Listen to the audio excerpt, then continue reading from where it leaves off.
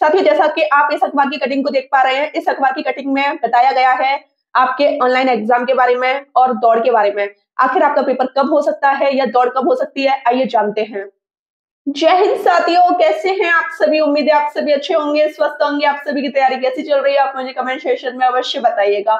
साथियों, आज की वीडियो में बात करेंगे कौन सी कंपनी परीक्षा कराएगी परीक्षा पहले होगी या दौड़ पहले होगी? या परीक्षा कब तक होगी? या दौड़ आपकी कब तक होगी? ठीक है, सस्पेंस बना हुआ है। सबसे पहले जो अखबार की कटिंग है, वीडियो लेट आ रही है, लेकिन ऑथेंटिक है। ठीक है? देखो, सिपाही भर्ती की परीक्षा ऑनलाइन कराने पर मंथन।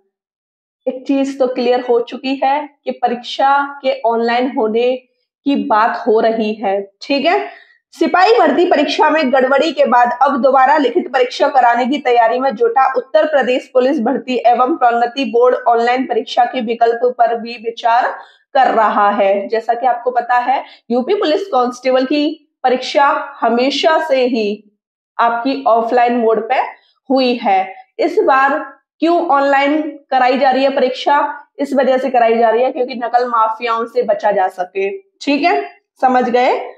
सूत्रों के मुताबिक उच्चाधिकारी द्वारा होने वाली लिखित परीक्षा को फुल प्रूफ बनाने के लिए सारी संभावनाओं को टटोल रहे हैं। मतलब जो भी चीज़, जो भी कंडीशन उनको एकदम सही लग रही है, वो उसको करने की कोशिश करेंगे इस बार। ठीक है? समझ गए ना? ऐसे में यदि परीक्षा कराने की ज़िम्मेदारी किसी अन्य सरकारी संस्थान को दे दी जाए तो हैरानी हैरान की बात नहीं होगी। अगर किसी भी संस्थान को परीक्षा कराने के लिए बोला जाएगा तो हैरानी की बात तो नहीं है। ठीक है? फुल प्रूफ आपकी परीक्षा कराने की पूरी पूरी तैयारी हो रही है।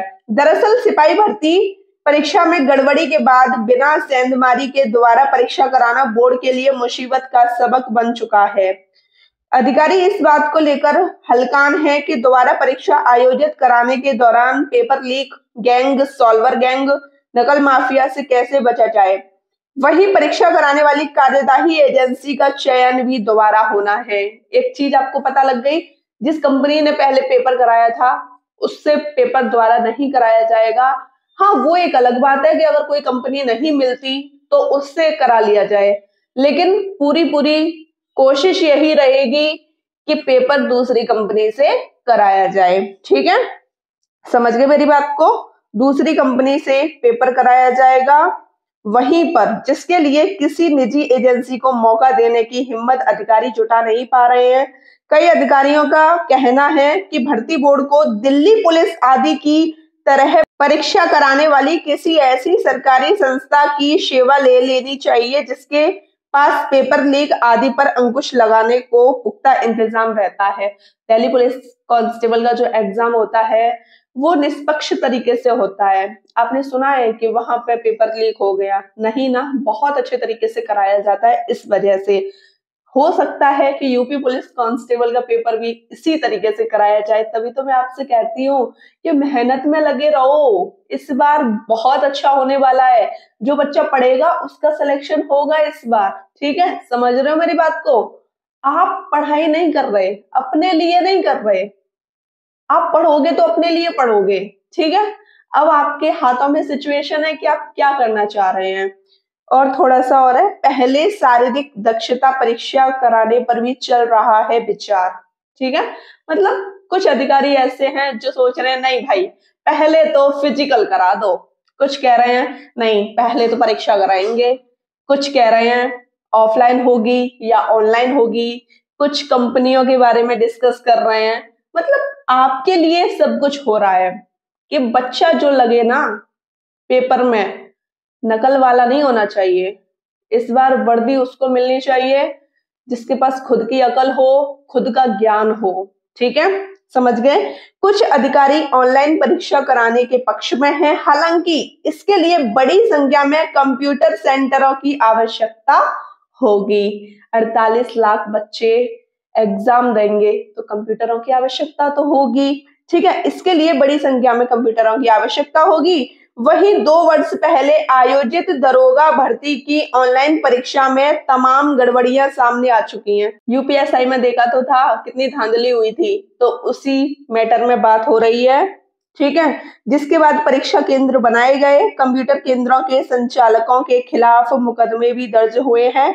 ऐसे में इस विकल्प पर भी विचार हो रहा है कि अभ्यर्थियों की पहले शारीरिक दक्षता परीक्षा करा ली जाए, जिसमें चयनित अभ्यर्थियों को लिखित परीक्षा में शामिल होने का मौका दिया जाए। अब आपके मन में एक सबसे बड़ा जो डाउट है, वो ये है कि पहले परीक्षा या दौड़? देखो न्यूज़पेपर के माध्यम से कुछ अधिकारियों का मानना है कि पहले दौड़ करा ली जाती है, ठीक है? लेकिन कुछ अधिकारी कह रहे हैं, नहीं, पहले कराएँगे ऑनलाइन परीक्षा। तो इस चीज़ का अभी एकदम क्लियर नहीं है कि पहले आपकी दौड़ ही होगी। अगर आप बहुत ज़्यादा टेंशन में हैं तो मैं आपसे कहना चाहूँगी, अगर आप सोकर छह बजे उठते हैं। तो पाँच बजे उठ जाइए। पाँच बजे सोकर उठ जाइए। पाँच बजे से लेकर छह या सात बजे तक अपना एक या डेढ़ घंटा जो भी है, वॉक पे निकल जाइए। वॉक के साथ साथ एक आध दिन वॉक कीजिए, घूमिए। फिर दो तीन दिन बाद आप क्या करोगे? रनिंग स्टार्ट कर दो। इसमें क्या है कि आपकी रनिंग भी होती रहेगी और रनिंग के साथ साथ जो भी आपके पढ़ाई के घंटे हैं, दस या बारह घंटे, उन घंटों में आपको पढ़ना है। क्या पढ़ना है? आपको जीएस पढ़नी है, मैथ पढ़ना है रीजनिंग पढ़नी है, पुलिस प्रणाली पढ़नी है आपको, और एक सब्जेक्ट और बचा हिंदी पढ़नी है। ठीक है? दस या बारह घंटे आप अपनी इन सब्जेक्टों को दें, एक से दो घंटा आप रनिंग को दें। तो इसमें बिल्कुल टेंशन लेने वाली बात नहीं है कि पहले दौड़ होगी या पहले आपका एग्ज़ाम होगा, ठीक है? बस इतना ही आपसे कहना चाहूँगी, परेशान होना नहीं है किसी भी चीज़ को लेके, ठीक है साथियों? मिलते हैं लाइव सेशन में, तब तक के लिए सभी को जय हिंद।